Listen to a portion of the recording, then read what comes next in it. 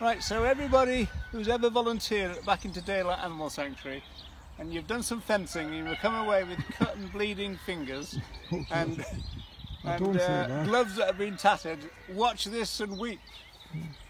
One, two, three, four. Goes in there, down there. Voila, voila, voila. And there it is. Look at that. Magic.